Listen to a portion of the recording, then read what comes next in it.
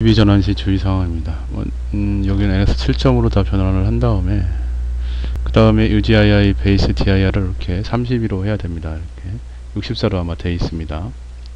그러니까 여기를 64로 되어 있는 거를 32로 이렇게 하고요. 32비트용으로 확인을 해야 되고 아, 그러고 나서 지금 클래스가 좀 쓰는 게 달라요. 요거를 가지고 카탈로그 XML을 가지고 전환을 이렇게 하는데 엑셀 파일 보면 Korean 클래스 Korean으로 하게 되어 있습니다. 그래서 클래스에 보면은 여기 Korean 이렇게 되어 있죠.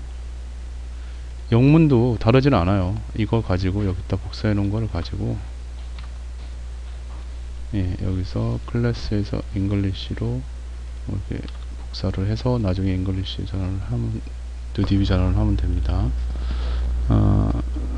이렇게 하면 되고 음, 그리고 전환하기 전에 에, 이거 가지고 전환을 하죠. 어, 전환을 하기 전에 지금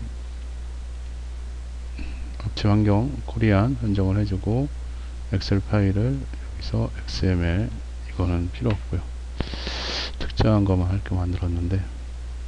그런 다음에 여기서 재료 발주 이런 게 잘 되는지 예, 확인을 한번 해야 돼요. 그래서 이걸 찍어 놓고 이렇게 해서 예, 처음 하는 데는 시간이 많이 걸려요. 재료 발주가 잘 올라오는지 이렇게 확인을 해야 됩니다.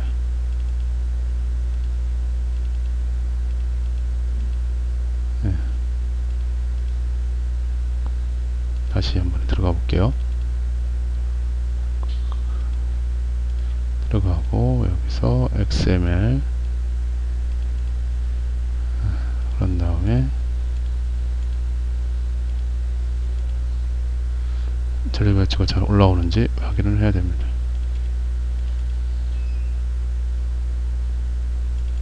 더블 클릭해요.